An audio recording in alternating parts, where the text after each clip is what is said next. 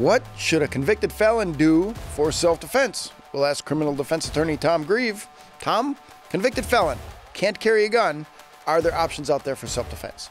The fundamental self-defense laws do not change. So, for instance, if you're in reasonable fear of imminent death or great bodily harm, you can then use deadly force. Nowhere in there does it say unless you're a felon. But obviously, as you said, your equipment options change both as far as what you're using and where you're using it. So, for instance, your ability to obtain a concealed carry license to carry whether it's a firearm or a knife, you may not be able to make that happen. Check your local listings to see as well if you can regain or rehabilitate your Second Amendment rights.